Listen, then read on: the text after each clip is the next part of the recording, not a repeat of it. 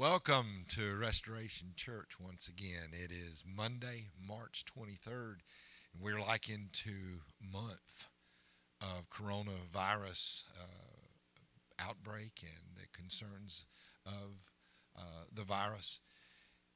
We want to continue to give you a source of hope and help and uh, just encouragement.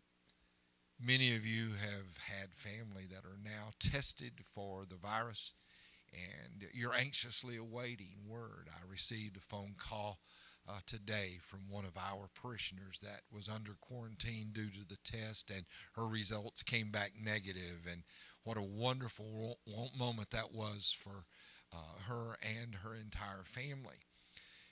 And I know others of you are anxiously waiting as well to hear the test back from, from you or your family members. And so we want to give you word to help you for that uh, anxiety that you're feeling. If we look to 1 Peter chapter number 5, verses 6 and 7, we see a source of hope. Verse 6 gives us our prerequisite for what God wants to do for us in verse 7.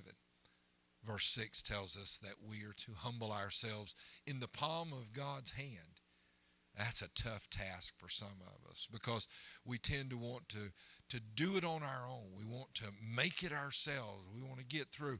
But this outbreak has proven that we can't do that. If nothing else has, this has proven that we can't do that.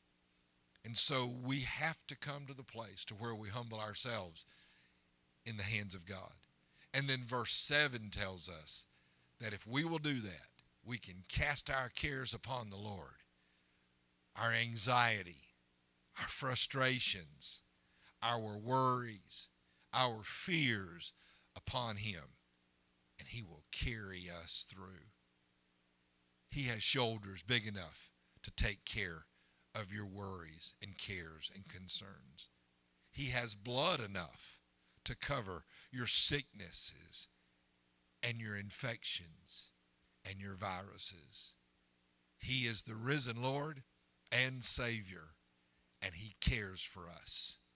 You know, I talked to you yesterday when we were speaking in our church service about doing some fasting and praying that's one of the ways in which we can humble ourselves. And so I encourage you once again today to join with us here at Restoration Church because several of our folks are, are doing exactly that this week.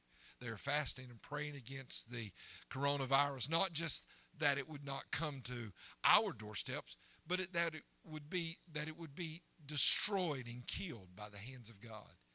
You know, just like God took care of the enemies of the children of Israel, He can take, take care of this enemy of you and me today. And so we pray against the coronavirus that it would be stopped in its tracks and that the blood of Jesus Christ, as it was covered over the doorpost uh, of the children of Israel, that lamb significant of the blood of Jesus Christ, we pray that it would be covering our lives as well and stop this virus from spreading.